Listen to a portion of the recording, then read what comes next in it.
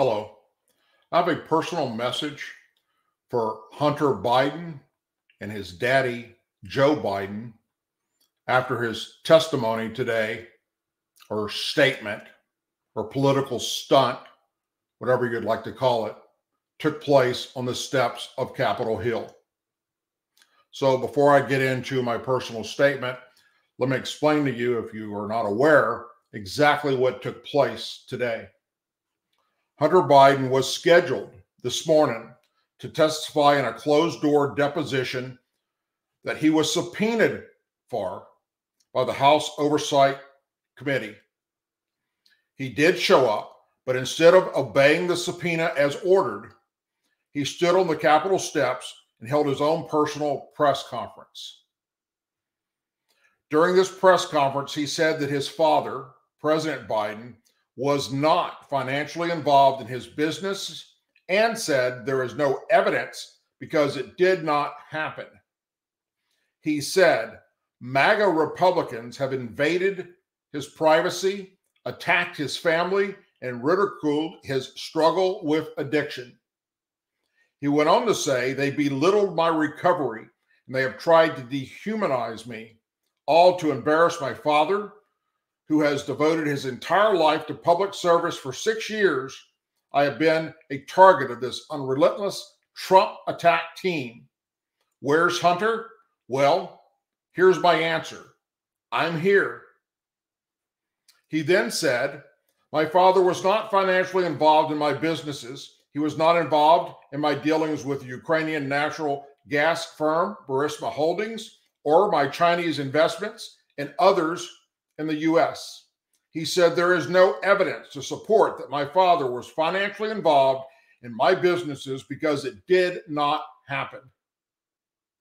The White House and President Biden have maintained all along that the president was never in business with his son and never met with any of his business partners. Biden has also said he never spoke to his son about his business dealings. But evidence such as email records, records, and testimony from Hunter Biden's former business partners presented by House Republicans in their investigation contradict those statements. The president's son went on to blast House Oversight Committee Chairman James Comer, House Judiciary Committee Chairman Jim Jordan, and House Ways and Means Committee Chair Jason Smith who are co leading the House impeachment inquiry against his father, President Joe Biden. Hunter Biden said the chairman had manipulated evidence and misstated personal information. He said Republicans have lied over and over about every aspect of my personal and professional life, so much so that the false facts are believed by too many people. He added, They have taken the light out of my dad's love for and presented it as darkness. They have no shame, and House Republicans have engaged in unprecedented political interference. Yet here I am, Mr. Chairman, taking you up on your offer. I've chosen, he said, I'm here to testify at a public hearing today to answer any of the committee's legitimate questions. He added, Republicans do not want an open process where Americans can see their tactics, expose their baseless inquiry, or hear what I have to say. What are they afraid of? I'm here, I'm ready, Hunter Biden said. The president's son then got in a vehicle with his entourage and left Capitol Hill. Comer and Jordan last week threatened to hold Biden in contempt of Congress if he defied the subpoena and failed to appear for this deposition today. And by the way, that's exactly what he did because he did not go into the Capitol and to the hearing. Comer and Jordan have vowed to release the full transcript of Hunter's deposition if he would participate. They also vowed to then schedule a public hearing for the president's son to testify in a setting for the American people to hear from him directly. On the House side of the Capitol, Comer and Jordan spoke to reporters defending their lawful subpoena of the president's son. There is a normal process in an investigation, Comer said. This has been a serious investigation since day one, an investigation about public corruption at the highest level. Comer said he still expects to depose the president's son, and then we will be more than happy to have a public hearing. Jordan weighed in, said if a public hearing took place first, as suggested by the first son, members would filibuster and delay lines of questioning. The way you get to the facts is you bring people in for an interview behind closed doors, just like they did with Trump and his impeachment inquiry. Hunter Biden's lawyer, Abe Lowell, and the White House have argued that the subpoena was not valid because the House impeachment inquiry was never formalized by the House of Representatives. The vote to move forward with an impeachment investigation is taking place today. Jordan said that once that vote takes place, he and Comer will, as promised, move forward with contempt procedure against the first son for failure to appear when subpoenaed. So, with that being said, no further ado, here is my personal message to Hunter and Joe Biden. Dear Hunter and Joe Biden, your lies to the American people show what true failures in life you both are. Both continuing to deny what we now know are cold, hard facts. Hunter, because you were coked out of your mind. You failed to retrieve your laptop from a repair store that you had brought it in to get fixed. And everything, regardless if it's a computer or it's dry cleaning, if you don't pay the bill and you don't pick it up within a certain amount of time, it becomes the property of the company you abandon it with.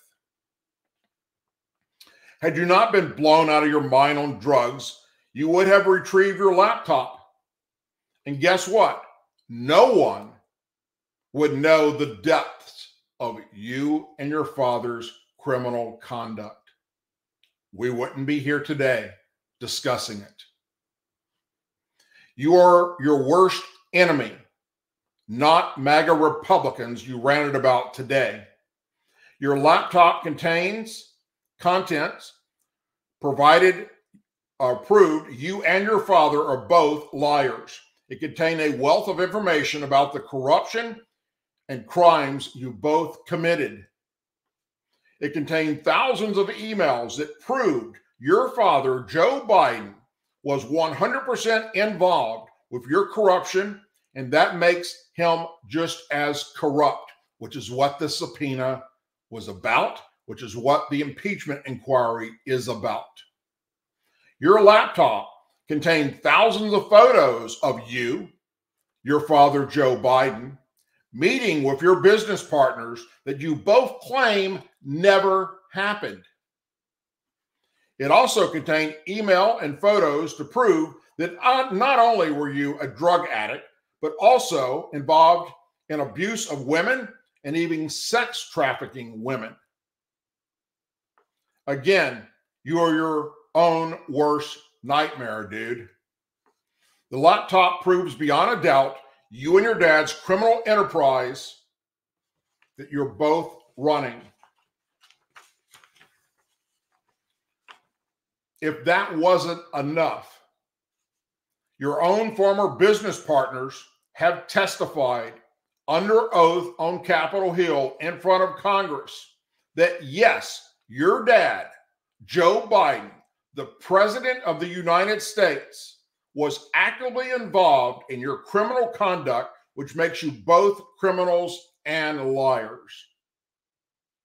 Furthermore, it's funny that you use pretty much the same type of talking points that Donald Trump used.